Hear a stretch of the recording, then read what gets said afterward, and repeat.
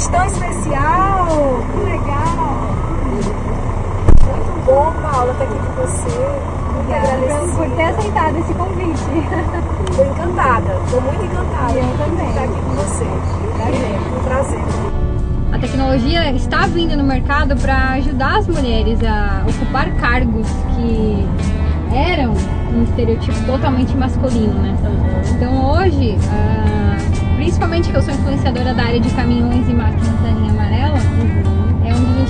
acabando esse paradigma de mulheres que não podem trabalhar em ramos masculinos. E a tecnologia está aí para ajudar a gente a todo momento. Não existe mais esse lugar que a mulher não pode estar, né? Não, não É. existe. E é muito bom você, você trazer esse exemplo aqui para nossa cidade, para agregar aqui nessa, nessa feira agropecuária aqui contagiar, porque eu estou vendo inúmeras mulheres contagiadas com a tua história aqui. A feira agropecuária de Paragominas, ela tem uma referência muito grande no estado todo, né? Sim. E aí pode a gente curva lá por trás. E tem uma referência muito grande em todo o estado do Pará. E eu tenho certeza que essa, essa repercussão vai ser muito grande e vai ajudar muitas mulheres aqui. Com A certeza. banheira tá bonita, né? Tá linda. E você só vem a, a brilhantar mais ainda a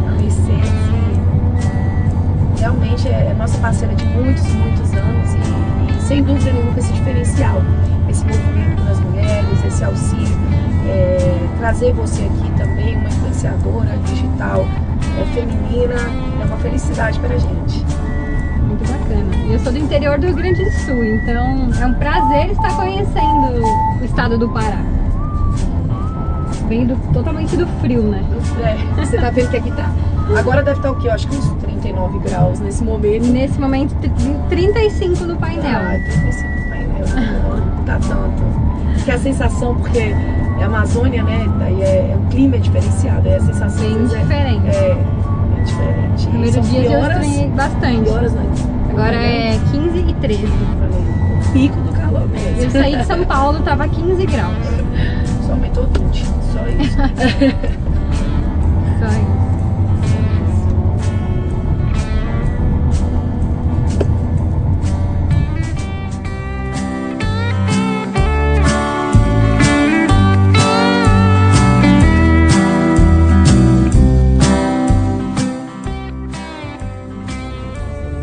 Pode ver que é bem seguro, totalmente automático, né? Para fácil acesso e dirigibilidade das pessoas.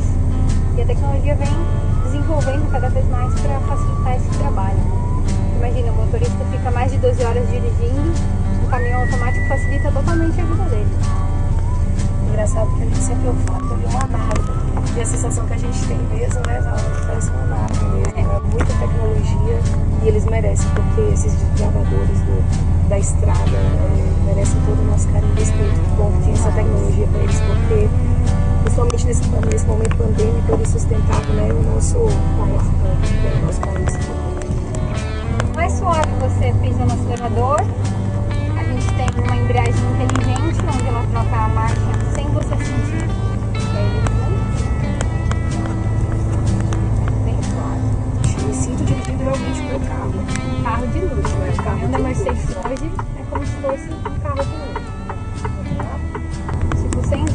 carro da Mercedes esportivo, é a mesma coisa. O que diferencia é o tamanho.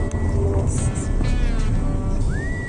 pode ver que a suspensão dele é muito confortável.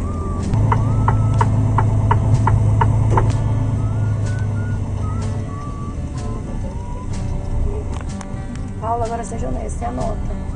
Tá ótimo. A primeira vez Pela tá primeira ótimo. vez, Agora você coloca no neutro e aperta o botãozinho do freio estacionário. freio estacionário. Eu tinha visto a primeira Ó. vez. E uma novidade da Mercedes, eles não têm chave de ignição, tá? É chave por aproximação. Então é somente o botãozinho start stop. E você desliga o caminhão nesse botãozinho. Uau. Sensacional. Obrigada, Mira. Obrigada, você, Prazer. tá? Foi um prazerzão. Tchau, gente. Obrigada, gente.